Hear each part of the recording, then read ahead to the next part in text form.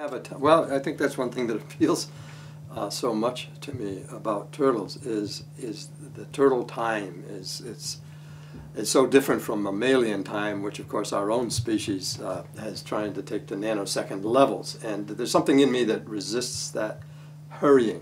Um, our, our metabolism uh, demands it. The turtles, you know, they can sit out a half a year. If it's cold, icy, snowy, they can literally go five and a half to six months without taking a breath of air. They're not eating. Uh, they can wait.